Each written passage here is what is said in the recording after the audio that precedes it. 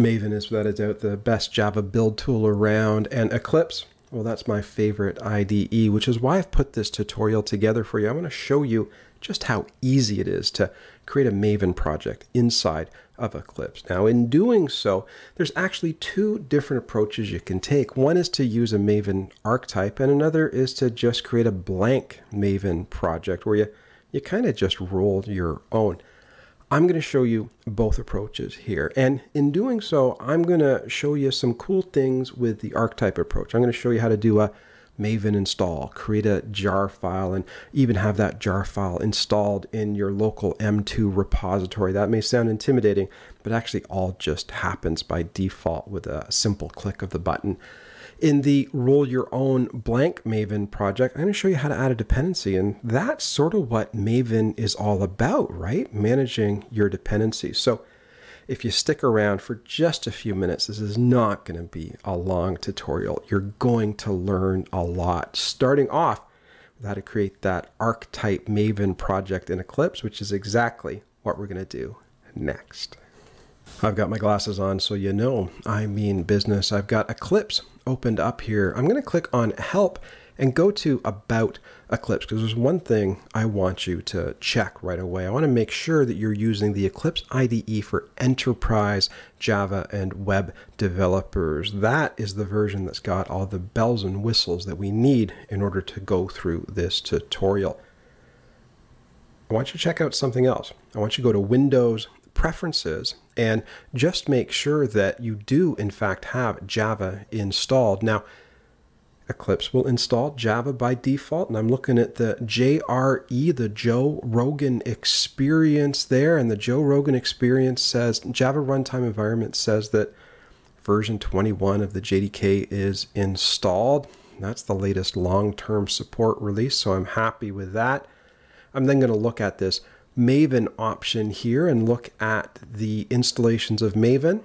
And Eclipse comes with Maven pre-installed, and here it's version 3.9.9. I think that's the, the latest. So I'm not going to play around with that. You can always click add and add your own version of Maven or your own JDK, but this tutorial, I don't know why you would. So let's create a new Maven project. And I told you Maven is number one and it's number one on that list when you say file new.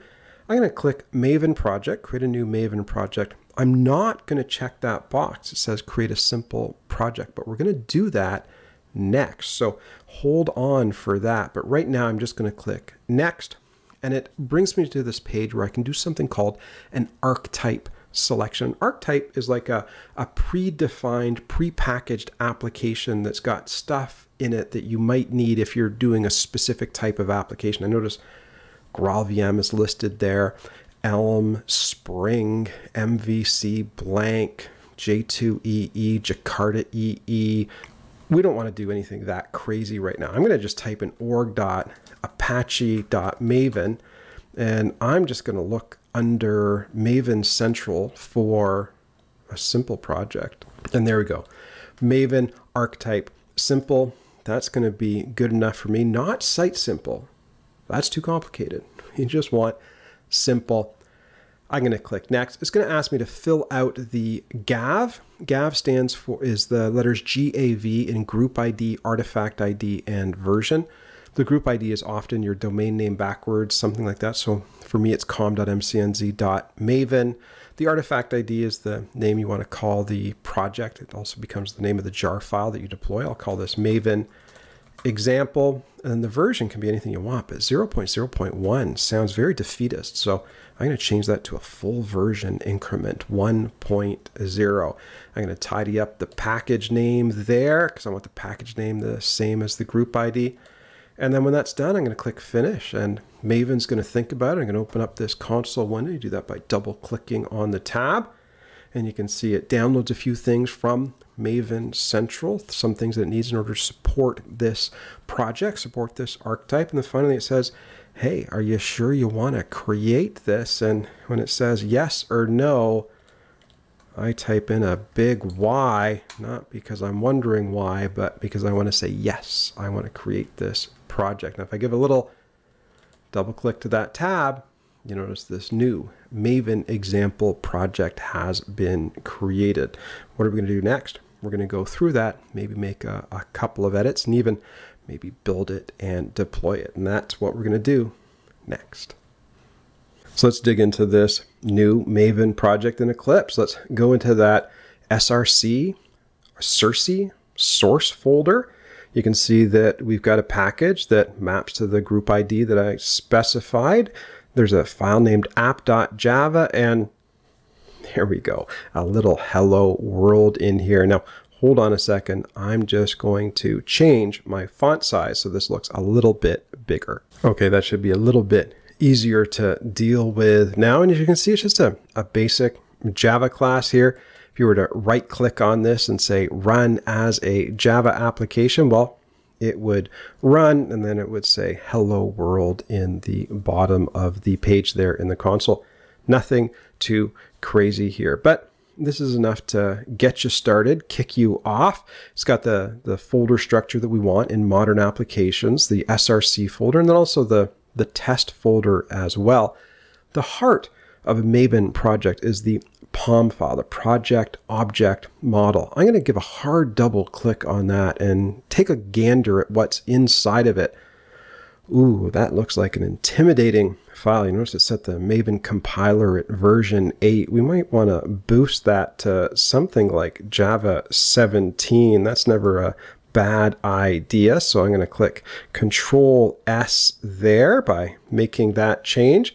Couple of other details in here. There's dependencies.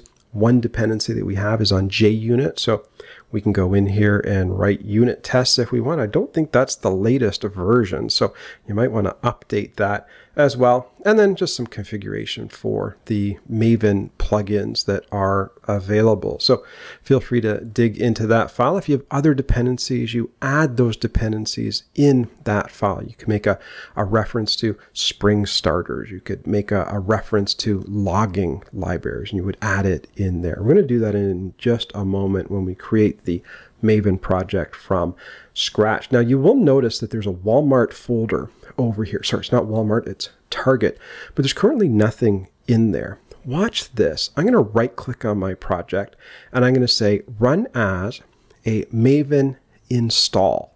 You can see the console going wild.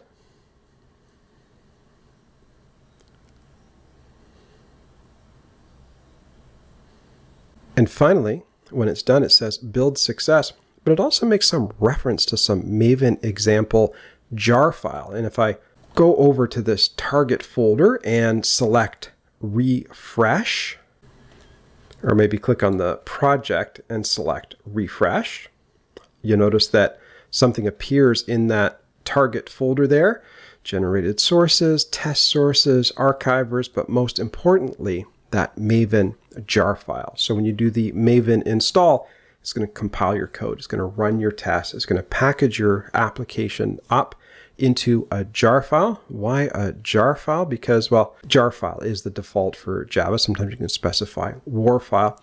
But why was it called install? Well, it was called install because it actually takes that Maven example jar file. You notice that the package that I was using, the group ID was com.mcnz.maven. If we end up going into the user's home folder, look under M2 for Maven, dig down into the repository, you'll see under com.mcnz.maven, maven example 1.0, there's the jar file.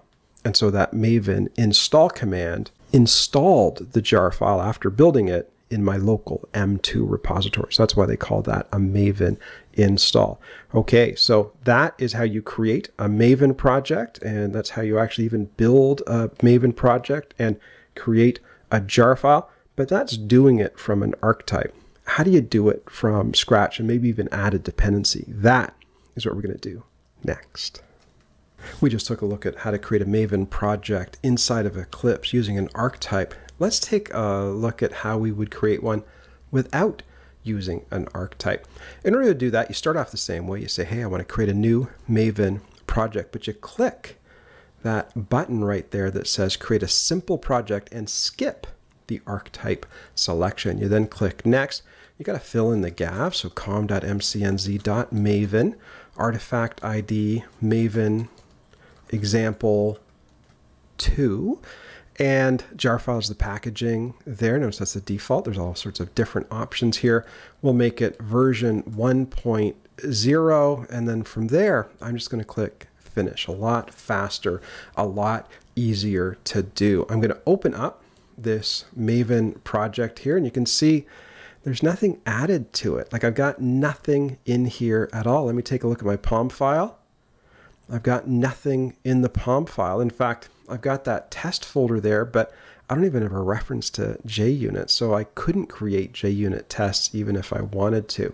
What I'm going to start off by doing is I'm going to create just a new Java class, and I'm going to create put this new class in the com.mcnz.maven2 package, and I'll call it the app class because that's kind of standard, and I'll click this button to create a public static void main method just so I've got something runnable. And then in here, I'll just do something like system.out.println hello world. And there you go. We've now got a, an application that will run, run as a Java application. It says hello world. I can come over here and do that run as Maven install and it's going to create that Walmart folder for me and put that built jar file in there. I'm going to come over here and click right click and say refresh as soon as that console window stops barking at me. And so I click refresh over here, open up this target folder and there's that jar file created for us. So you can see that Maven is actually doing some builds and some packaging and some deployment as well. I wonder if I come over here to 1.0, there's Maven example 2. And there you can see that Maven example 2 jar file installed in my M2 repository. Now, one of the cool things about Maven is that it makes it possible for you to bring in other projects. So I'm over at the Maven repository right here, and I'm a big fan of Apache Commons Lang. I'm going to click on the latest version 3.17, and it says, you know, if you add that dependency to your Maven project, well, you know, you're going to be able to use all of the code from that library. So I'm going to highlight that. I'm going to copy that. I'm going to come back to my project, I'm going to come back to my POM, and I have to do one addition here. I have to say I'm going to add some dependencies. So I type in dependencies, wait for some auto suggestions to come up, dependencies, enter, enter, enter, enter. Now control V to paste that in, control shift F to format so it all looks handsome. And now we've got a nice, handsome POM file with a dependency on commons.lang, which is going to give us access to some very, very cool methods. How cool? Well, let's take a look. I'm going to paste in a few lines of code here from Apache utils. And look at that. It says, oh, do you, do you see that red X there? If you see that red X, you need to get your eyes checked because that is not a red X. That is a white X on a red background. But it says string utils cannot be resolved. Why? I thought I did the dependency. I just have to do the control shift O, the right click and say source, organize imports, and boom, all of a sudden I'm able to bring that in. It was there all along. You can see, you know, we want to capitalize hello world system.out.println, the result there and then is empty should be true if that's empty.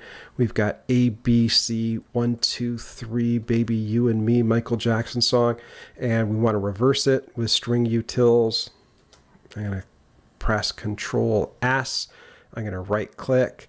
I'm going to run as a Java application and boom, hello world. Uh, we got to see the hello world printed out that second time. Okay, it was the capitalization of the first letter.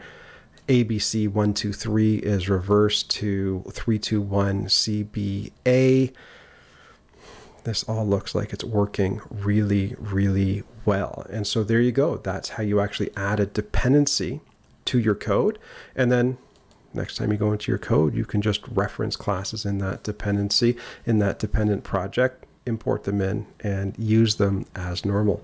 And there you go. That's how easy it is to create a Maven project inside of Eclipse.